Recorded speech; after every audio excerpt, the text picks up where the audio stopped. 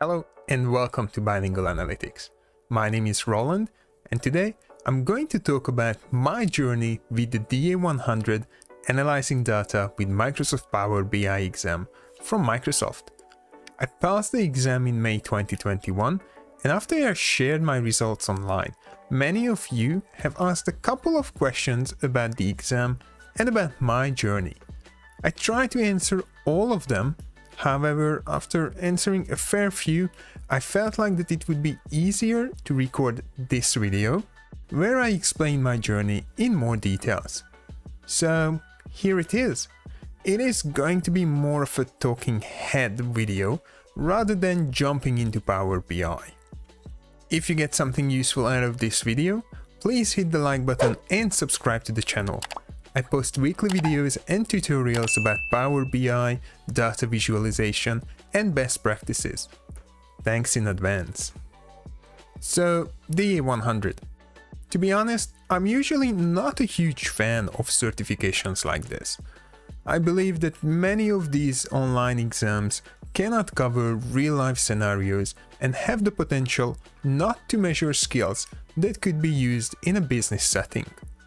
And if an exam only measure theoretical knowledge, it may not be replicable in a practical scenario, if you know what I mean. However, I do realize that for many people, having a certification about their skills in Power BI is crucial to get a job or to progress in their career. And on that note, it is great that Microsoft realized that and they provide an opportunity for all to prepare and take this exam. Full disclosure, I have received a free exam credit or voucher from Microsoft for attending the training, so I thought that I should give it a try. There are so many smart people online posting about their DA100 success, and I wanted to join the club. Luckily, in Australia, there is an option to get certified via Pearson online exams, so I was able to log in from these very settings with my webcam and a very very very clean desk.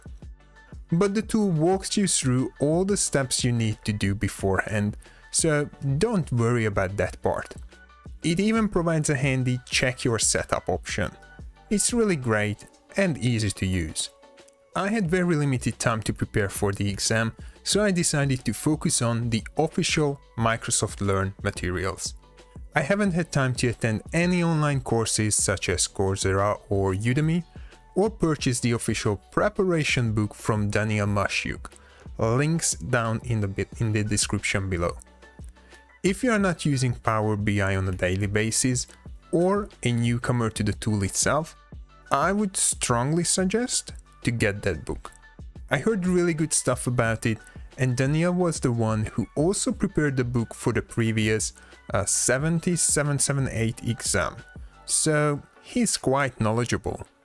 But what is that Microsoft Learn and what sort of materials do we have there? Let's head over to my PC so I can show you. Here we are on the official DA100 website. You can find the link for this website in the comment section below. Under the schedule exam section, you can find the skills measured part, and below that the skills outline. I would encourage all of you who plan to sit for this exam to read through this PDF document. It provides a detailed guide on what's needed and you can compare your skills to what's listed here. This is exactly where I started. I read every single point listed here and tried to flag the ones where I felt good about and the ones where I knew that I still have some space to improve. I believe that if I know the exam structure, I can plan my preparation better. So once I knew the sort of skills that Microsoft measures with the DA100 exam, I had a really good plan of attack.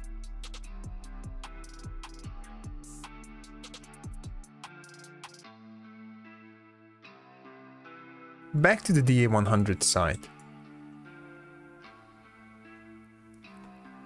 Further down below you can find two ways to prepare. Online prep for free, this is what I chose, or paid instructor-led preparation. Again, if you're a newbie, I would suggest more training and more preparation as it is not an easy exam. But what I have done to get ready for the exam was going through every single one of these learning paths and modules. It provided a great opportunity to read again what's what and to refresh my knowledge about some of the areas that I may not use or tackle on a daily basis. Let's select the Model Data in Power BI learning path. Under this path, we have three modules, each covering different aspects of data modeling in Power BI. If we jump into Design a data model in Power BI, you can find the summary and the learning objective on the top.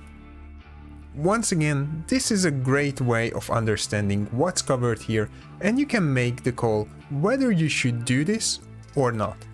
If we scroll further down, there are the topics covered and once you complete them, you get a green tick. It's also a nice way to monitor your progress. But the most important thing, or at least I believe the most useful tool during the preparation, is those lab sessions on the bottom. Within these lab sessions, you have the option to access one of Microsoft's curated datasets and practice what you've learned in that section.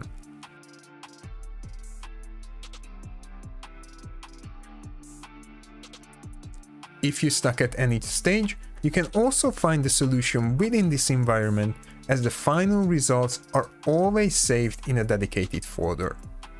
Most of the modules or learning paths contain some sort of a lab exercise and I strongly believe that these are the most useful bits in the Microsoft Learning environment. You first read about the topic and then you can practice it for free.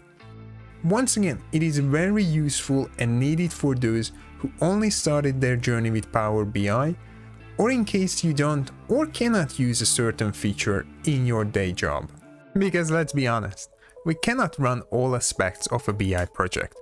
Or, in other words, we cannot be the best of all topics. Of course, this only applies to larger company sizes. For a smaller company with very few data, we probably could run all aspects of a BI project in Excel.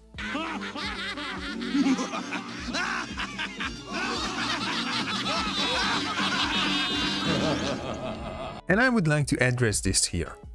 Now that I have completed the DA100 exam, I believe Microsoft also recognized this. The exam is not trying to necessarily prove that you know nothing about a certain topic. I think it is focusing on the fact that you must be aware of the different aspects of the tool.